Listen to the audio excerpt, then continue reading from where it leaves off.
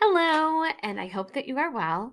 Um, today we're just going to sit around and um, talk a little bit about HPP, known also known as hypokalemic periodic paralysis. That's quite a mouthful. Um, specifically, the familial kind, and um, I'm just going to kind of give a personal narrative as to um, my family's experiences with it. I apologize for the noise in the background. That is our kitten, Lily. She is very excited. Um, she has a new toy. So, again, I apologize. Um, I do have to begin by saying that I am not a medical professional in any way. Um, I am just sharing our personal story, our personal experiences, um, with the hopes that it can help someone. Um, HPP is a very rare diagnosis. Um, it's a genetic mutation that um, is often not diagnosed or misdiagnosed. Um, and when people are diagnosed with it and have issues or have to go in for emergency purposes, a lot of medical professionals are unfamiliar with it. And unfortunately, my experience has been there are very few that are very familiar with it because it is so rare. So, we're here to try to hopefully help someone um, on their journey through our journey. Um, I think the more voices, the the more strength. So, um, I'm just gonna grab myself some hot water. Yeah, I don't drink coffee, and I didn't feel like tea today, so hot water with my cat lover cup and um, we will begin. So, like I said, um, I married into a family that has um, the genetic mutation for positive HPP cases, um, and what that means is is that um, to be diagnosed with the type of HPP that um, my husband and my daughter have, you have to have a mutation within your genes. And the way we found out that my daughter had it, um, we tested her through genetic testing through a children's hospital that was local to us um, before she would be showing so that we would be prepared in case she did. Um, my husband, however, um, found out because he started having issues.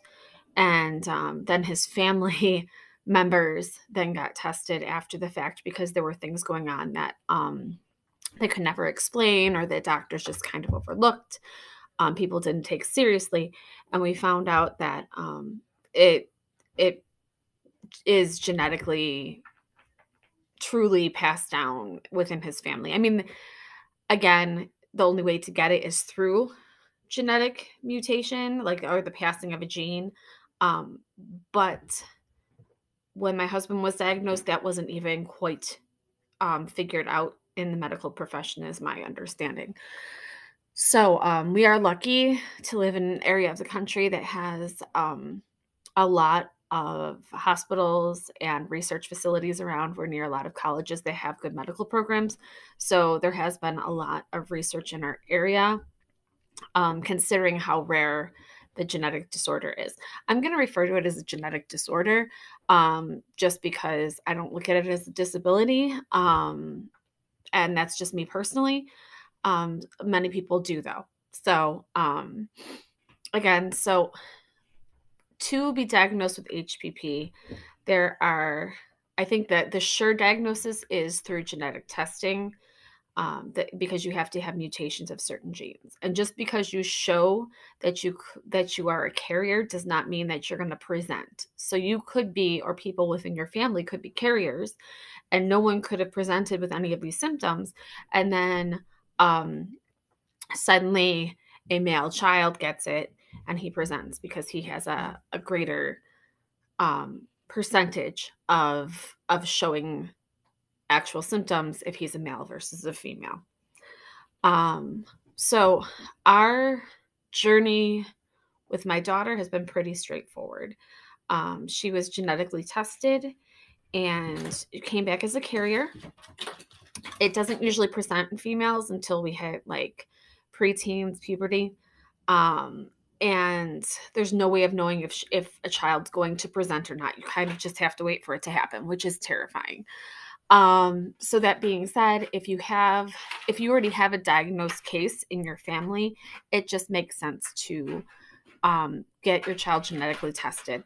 Our insurance did not cover the testing. I have really good insurance. I'm um, very blessed to say that I have good insurance, and it did not cover the testing. So that is something that you need to save up for. We did not get a full panel done. We because we knew what we were looking for. We were because we knew my husband had it. We knew his mother had it. We knew his sister was a carrier.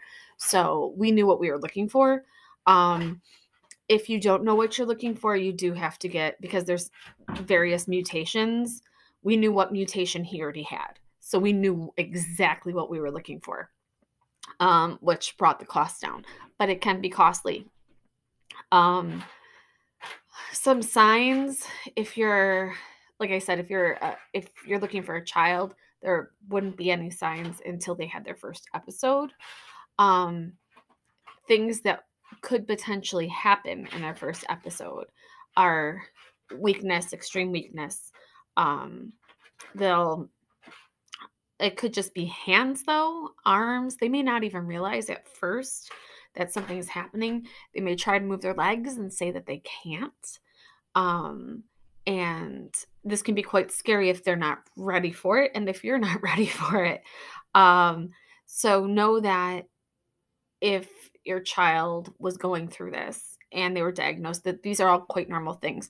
The weird thing or the great thing depending on how you look at it but hpp is it's a very very um, individual.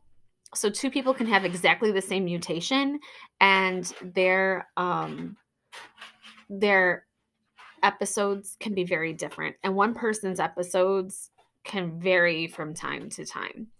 Um, so the first episode is always the scariest to a degree. I'll get more into that in a later date.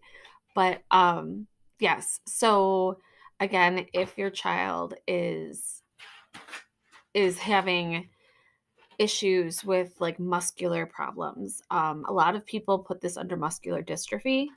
Um, it's not the same, but uh, that's usually specialist wise. You go with a neurologist that specializes in muscular like disorders um, because that's what HPP has. Um, so, again, it's a genetic mutation and it deals with the loss of um, potassium your body um, something triggers and everyone has different triggers something triggers your body to lose potassium and then you need to replenish that potassium and if you don't replenish it it will be continued to be lost. So in short um, it's genetic uh, it's a loss of potassium which then causes muscles to stop being able to move and um, eventually, if not treated, and if a severe episode occurs, you can have larger issues because of all the different organs and what have you in your body that are muscular. But again, that's on extreme circumstances. Um, I don't want to scare anyone. So, that being said, um, my daughter was, like I said, my daughter was diagnosed with this. Um, she is now 11. She has had her first episode. She's had several episodes. We're actually um, trying to find out her triggers at this point. And um, she's able to function as a normal 11 year old. Um, we do have episodes. We have had one where we had to go home early from school. We've had some issue with after school activities, but we'll get into that at a later date. Um, but this is not the end of the world. Um, it's all about managing and working with, with what you're given and knowing that um, there are answers. So I hope this is helpful. Um, I'm going to do a series of these because I could ramble on about this for a while. But again, this is just our first one. It's what is HPP and um, how is it really diagnosed in children? And I can only tell you about my case. Again, I'm not a medical professional. Um, but if you do have a child that's complaining of weakness, um, in their legs, arms, um, this could be something to ask about. All right. I hope you have a wonderful day and we will talk soon. Have a great day. Bye.